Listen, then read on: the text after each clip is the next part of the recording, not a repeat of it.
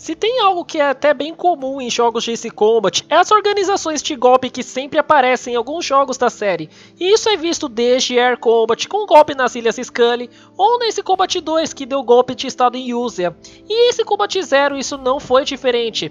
No final do jogo, nós enfrentamos uma outra organização terrorista chamada de A War With No Boundaries, ou no nosso bom e, bom e velho português, Um Mundo Sem Fronteiras. E hoje estaremos encerrando a parte final da história de Ace Combat Zero, que começou lá no vídeo análise do jogo, passou pelos aces da Guerra de Belka e agora estará terminando aqui. A formação do grupo é algo bem desconhecido, mas o que dá para se suspeitar é que os membros e a organização já existiam desde quando a Belka jogou as bombas nucleares em seu próprio território. PJ, inclusive, na missão 14, já suspeitava que mesmo durante aquela cerimônia e aquela missão secreta, não ia ser o fim da guerra. Na missão 16 é revelado que a ideia da organização era eliminar todas as fronteiras do planeta, pois eles acreditavam que as mudanças de território, como o que aconteceu no fim da Guerra de Belka, perdendo parte de seu território para a Ósea, e as disputas por fronteiras iriam causar apenas mais guerra. Porém, eles iam usar força para isso. Eles tinham roubado várias armas, desde o bombardeiro experimental XBO, o míssil nuclear tático V2 e o aeronave experimental ADF-X-02 Morgan. Os membros do golpe eram formados por pilotos e soldados de Belka, Sapen e Ouser, além que também foi confirmado alguns pilotos de Yuktobania, além que pouco se sabe sobre o que eles faziam antes da guerra estourar. O primeiro esquadrão que irei mencionar aqui é o Esquadrão Espada, composto por apenas dois pilotos de Sapen, o líder Alberto Lopes, piloto Draken, e Marcela Vasquez, piloto Rafale M. Ambos lutaram durante a Guerra de Belka. Marcela nasceu em Gran Rugido, Após perder seus pais em uma guerra, ela se tornou uma mercenária e conheceu Alberto, a qual se tornou seu ala como Espada 2. Durante a Guerra de Belka, ela, em vez de lutar por vingança, decidiu continuar a seguir seu líder, não importa onde ele fosse. Já Alberto, quando adulto, entrou para a Força Aérea de Sapien e se tornou o líder do Esquadrão Espada, além de provavelmente ter começado um relacionamento com sua ala. Durante a guerra, ambos entraram em contato com Joshua Bristol, líder do Esquadrão Wizard, para se juntarem à organização. E no mês de outubro, eles se juntaram ao golpe. No dia 25 de dezembro de 1995, um bombardeiro gigante aconteceu na cidade, passou pela cidade de Lumen, bombardeando a cidade. A aeronave gigante, inclusive, passou atacando a base de Valais. Trata-se de uma aeronave, uma fortaleza experimental belga roubado pelas forças do golpe, chamado de XBO. Eu não vou tentar pronunciar o nome daquilo ali, porque aquilo ali é um baita de um trava-língua. Herzberg, Herzberg. O esquadrão Gal decola para interceptar e abater o bombardeiro. Mas além de enfrentar a fortaleza voadora, eles confrontam o esquadrão Espada. Cypher na rota mercenária mata a Espada 1 e abate a Espada 2. E destrói o XBO. Mas quando Cypher e PJ estão retornando à base, eles recebem uma mensagem familiar de um certo alguém. Após a guerra, Marcela volta para Gran Rugido e se torna uma dançarina em um bar. Dias depois, a represa de Avalon é tomada pelas forças do golpe, com o plano de lançar um míssil nuclear, o V2, que fazia parte do Project Pendragon.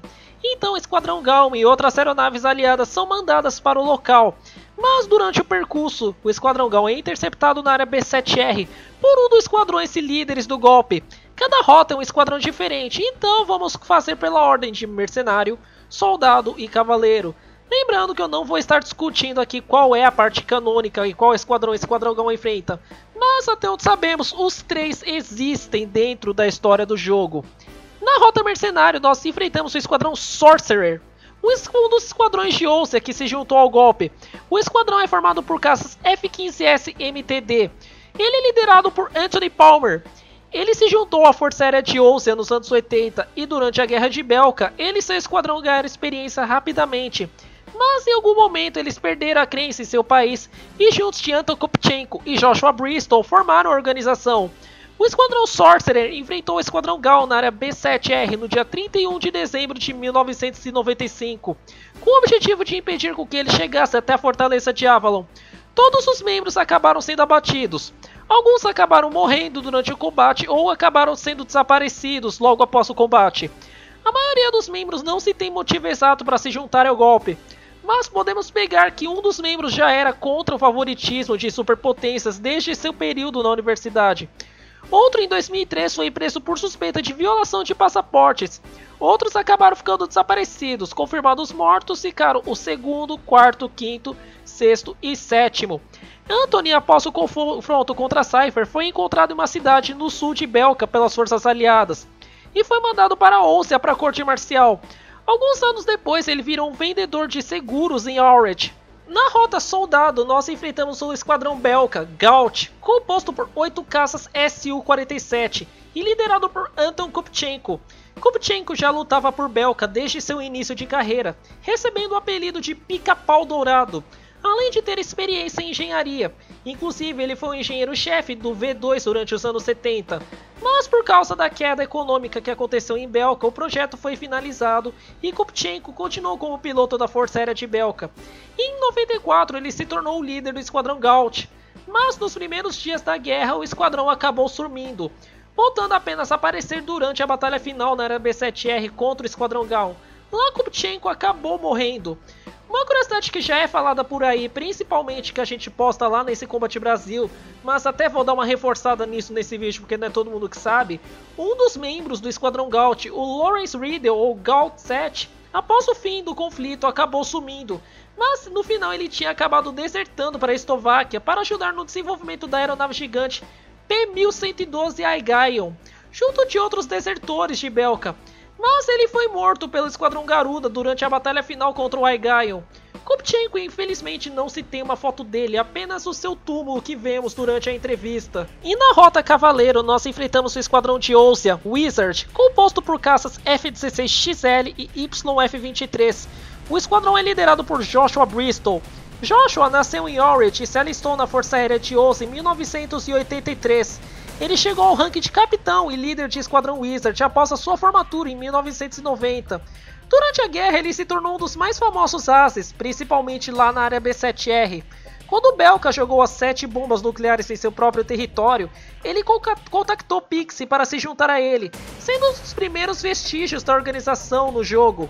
Cypher abate o esquadrão dele na área B7R, com dois de seus membros morrendo. No ano seguinte, ele se envolveu em uma organização terrorista para conseguir retomar uma certa organização, mas todos eles foram presos por serem acusados de tentarem matar o presidente de Ousia.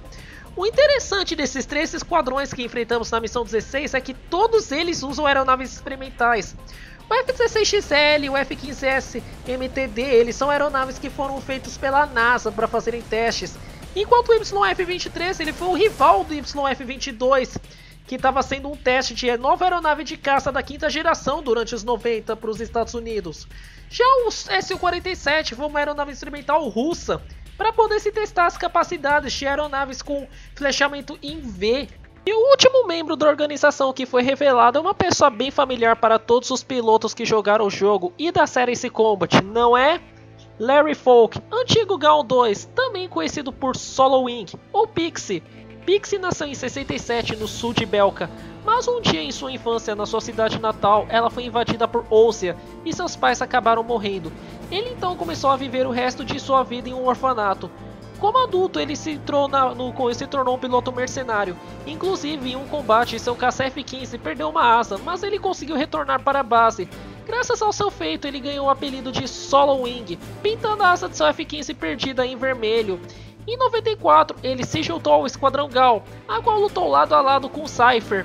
Mas quando a cidade de Hoffnang começou a ser atacada discriminadamente pelas forças aliadas, matando tanto civis e militares, ele começou a se questionar sobre tudo isso e logo em seguida ele se juntou ao golpe quando as sete bombas nucleares foram lançadas em Belka. Após o XBO ser abatido, nós vemos seu caça passando pelo local e mandando um recado para Cypher, a qual foi reconhecido na hora por PJ, então, no dia 31 de dezembro, após Cypher destruir Avalon e os controles do V2, ele, ele acaba matando Pidgey e confronta Cypher pela última vez. Durante o conflito, ele estava usando o ADF-X-02 Morgan com um controlador de lançamento do V2, e ele era o último que podia lançar caso, caso Avalon fosse destruída. Durante o combate, ele perdeu tanto seu TLS e as armas MPBM, e acaba lançando o V2, fazendo com que Cypher tenha que destruir o caça dentro de um limite de tempo. Após o conflito e ele ser abatido, ele acaba chegando em Waldrick a pé, onde as sete bombas nucleares de Belka foram detonadas. Lá ele foi cuidado pelos locais, ainda se questionando sobre a existência de fronteiras. Anos depois, ele acaba se juntando a ISAF em uma luta na Guerra Continental contra Erusia, que são os eventos de Ace Combat 4. Em 2005, logo no fim da guerra, ele é entrevistado lá na cidade de Delarus e manda aquela boa e velha mensagem para Cypher. Yo, buddy. Still alive? And thanks, friend. See you again. Após o fim do conflito, Avalon foi reconstruída e voltou a ser de novo apenas uma simples represa, com nenhum sinal do que tinha acontecido por ali, além que todas as pistas sobre Cypher também tinham sido encerradas após a luta. A organização, assim como na Guerra de Belka, não foi só formada por esses pilotos. Vários outros se envolveram no conflito e foram abatidos por Cypher. Mas o que marcaram muitos jogadores foram os grandes esquadrões que enfrentamos durante o jogo. Esses outros pilotos que achei são menores acabaram desertando, foram mortos em ação ou seguiram suas vidas por aí. O fim da Guerra de Belka inclusive causou várias marcas no futuro da franquia, incluindo o duelo final, como por exemplo o desenvolvimento do ADF-01 Falcon, a qual primeiramente Scarface confronta na batalha final na Fortaleza Intolerance em Ace Combat 2, a criação dos Greymen, entre outras coisas. O objetivo da organização, por mais que seja algo nobre, foi totalmente focado em algo errado em usar o medo para juntar as pessoas. Porém, Será que no futuro, quando as pessoas entenderem que precisam enfrentar não elas mesmas, não por causa de uma ideologia de algum político, mas sim enfrentar algum grande mal que pode acabar com tudo, talvez elas acabem se juntando. Só assim realmente vamos ver um mundo sem fronteiras de verdade, sem ideologias políticas nem nações, mas apenas a humanidade, reconectando os céus que foram estilhaçados por tantos conflitos em Strange Real. Não é?